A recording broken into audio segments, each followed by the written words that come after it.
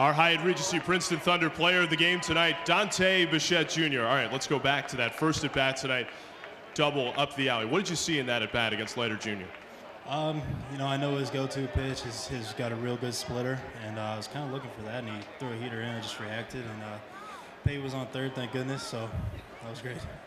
Now, big spot in the seventh inning. You're on base. Wild pitch moves you up. What, what did you see when that ball got away from the catcher? Uh, it, went to the backstop. Uh, that's what I was looking for. I know, again, I know his best pitch, and, and that's his best pitch is when it's down. So he threw one in the dirt, and, and that happened. The speed of Dante Bichette Jr., our Hyatt Regency Princeton Thunder player of the game tonight.